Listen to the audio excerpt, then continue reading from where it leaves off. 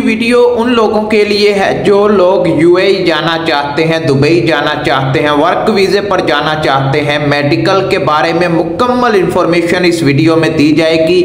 UAE के medical test में क्या क्या चेक किया जाता है? यूएई के मेडिकल में आपको कौन से दस्तावेज़, कागजात अपने साथ लेकर जाने चाहिए? यूएई के मेडिकल को पास करने का तरीका भी बताया जाएगा। वहीम ईया का नाबदू वैया नसैन। उम्मीद है आप सब लोग ठीक होंगे। अल्हम्दुलिल्लाह, मैं भी ठीक। यूएई का मेडिकल सबसे आसान है। कतर का मेडिकल फिर भी ज़रा थोड़ा मुश्किल है। क्यों सी मेडिकल जिसको बोलते हैं, वो ज़रा थोड़ा आ, मुश्किल है टफ है लेकिन दुबई का मेडिकल सबसे आसान है।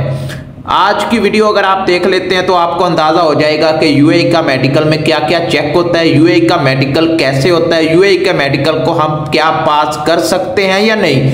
ये सारे सवालों के जवाब मैं इस वीडियो में आपके साथ शेयर करूँगा। तो वीडियो शुरू करने से पहले वीडियो को लाइक कीजिएगा चैनल को सब्सक्राइब कीजिएगा। किसी भी किस्म का सवाल है, हमसे पूछना चाहते हैं, हमसे बात करना चाहते हैं हेलो हाय अस्सलाम वालेकुम। मैं आपसे बात करना चाहता हूँ। प्लीज़ रिप्लाई दें। ऐसे सवाल नहीं करने मुझे। आपने सिर्फ़ अपना सवाल छोड़ना है। एक, मैसेज में अपना पूरा सवाल छोड़ दें। मैं जब भी ऑनलाइन होता हूँ, देखता हूँ, तभी मैं रिप्लाई करता हूँ। हेलो हाय अस्सलाम वालेकुम। इसका मैं रिप्लाई करता ही नहीं हूँ।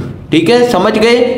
आपको आ, मेरे इंस्टाग्राम का नेम दिख रहा होगा इधर आए अपना मैसेज छोड़ें। तो चलते हैं यूए के मेडिकल के बारे में। सबसे पहले आपका खून का टेस्ट लिया जाता है। इससे पता करते हैं कि आपको कोई बीमारी तो नहीं है। इसमें चार पाँच किस्म के टेस्ट होते हैं। और इसके बाद में यानी पहले आपका खून का टेस्ट होता है उसके बाद आपका सीने का एक्सरा होता है। ठीक है? इससे ये मालूम करते हैं कि आपके चेस्ट के ऊपर कोई दाग तो नहीं है, सांस लेने में आपको मुश्किल तो नहीं आती।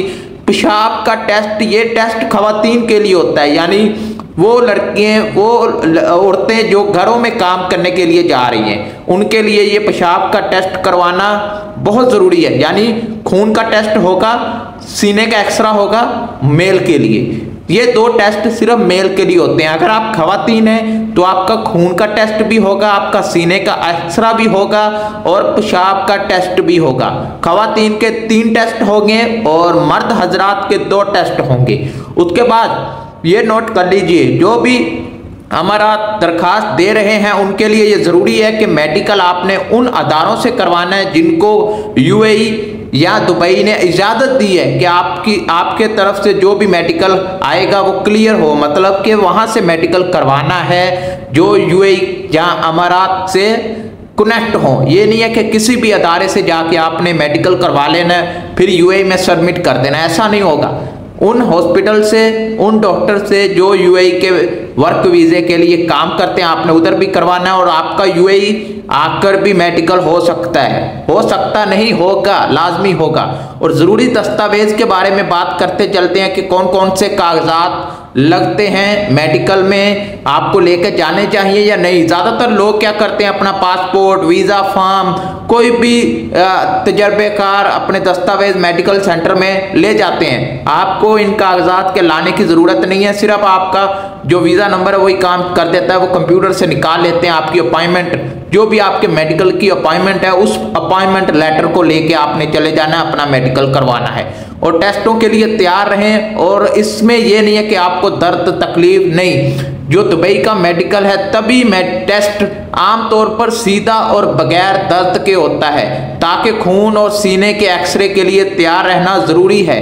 अगर आप यूएई का मेडिकल पास कर लेते हैं, तब जाकर आपको यूएई का वर्क वीज़ा मिलता है, जिसको हम एम्प्लॉयमेंट वीज़ा बोलते हैं। तो आज की वीडियो में उम्मीद है आपको पता लग गया होगा, दुबई का मेडिकल कैसे होता है क्या क्या होता है, और बहुत सारी इंफॉर्मेशन मैंने इस वीडियो में आपके साथ शेयर की हैं। कोई भी सवाल इंस्टाग्राम पर आकर हमसे शेयर कर सकते हैं, बात कर सकते हैं। हम आपके हर सवाल का जवाब इंस्टाग्राम पर ज़रूर देते हैं। मिलते हैं नेक्स्ट वीडियो में। अल्लाह हाफिज़।